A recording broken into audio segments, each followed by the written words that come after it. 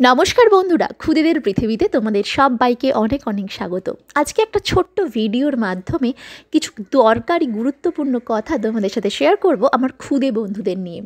বন্ধুরা আমরা না ছোটোবেলা থেকেই বাচ্চাদের পড়াশুনোর দিকে মানে সিলেবাস ভিত্তিক পড়াশুনোর দিকেই বেশি জোর দিই। আর এটা করতে গিয়েই বাচ্চাদের যে একটা বিবেকবোধ ছোট থেকেই তৈরি করতে হওয়া মানে তৈরি করা উচিত সেটা ভুলে যাই। একটা সুন্দর বিবেক বা একটা সুন্দর মন ছোটোবেলা থেকেই বাচ্চাদের মধ্যে ভীষণভাবে জাগাতে হবে। সেটা আমরা আমাদের বিভিন্ন আচার আচরণ এবং কথাবার্তার মধ্য দিয়েই জাগাতে পারি। মনে রাখবে, যতই কিন্তু পড়াশুনোয় ভালো হোক না কেন, বাচ্চার মধ্যে যদি বিবেকবোধ মূল্যবোধ না থাকে, তাহলে কিন্তু হবে না। বাচ্চার মধ্যে সহানুভূতি বা ধরো মানে দয়ালু মানসিকতা বা বড়দের শ্রদ্ধা করার মানসিকতা।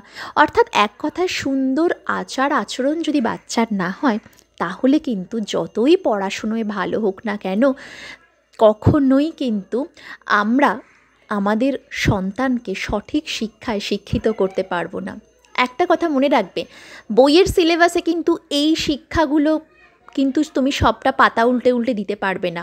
বাচ্চা দয়ালু হবে কি না বাচ্চা বড়দের শ্রদ্ধা করবে কি না বাচ্চা অন্যকে সাহায্য করবে কি না অর্থাৎ বাচ্চার বিবেক কতটা মানে বিবেকবোধ কতটা জাগবে সেটা তোমার ওপর ডিপেন্ড করবে, তোমার শিক্ষার ওপর ডিপেন্ড করবে। তাই ছোটোবেলা থেকেই আমার খুদে বন্ধুদের এই ধরনের শিক্ষাগুলো অবশ্যই দিও, যাতে সে একটা সুন্দর বিবেক, তার একটা সুন্দর বিবেক তৈরি হয়, তার ভেতরে সে একটা, তারা একটা সুন্দর মানুষ তৈরি হয়।